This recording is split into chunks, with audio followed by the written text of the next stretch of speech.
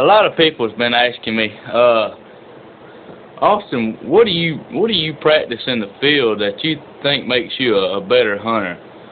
Well, that's pretty damn simple. Safety. I wear my orange, man. I, you know, I make sure I got good muzzle control. I keep my orange on at all times. No matter what I'm doing, I keep I got my orange on. Hell, if I'm fishing, I got my orange on. Uh, muzzle control, you know, stuff like that. I always make sure my my muzzle's pointed at the man walking in front of me because I don't want to shoot myself. You know, that's the main thing you're worried about. Don't hurt yourself out there.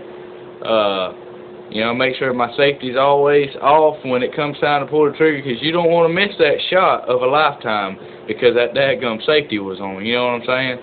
Um, other than that, you know, that's that's the only thing I really practice because you know, I'm that good. I don't need to practice.